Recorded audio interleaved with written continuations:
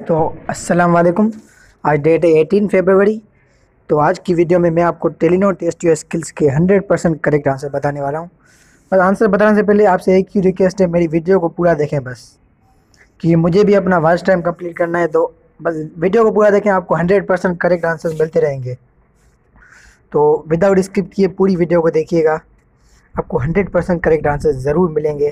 तो चलिए गाइस आज की वीडियो को शुरू करते हैं।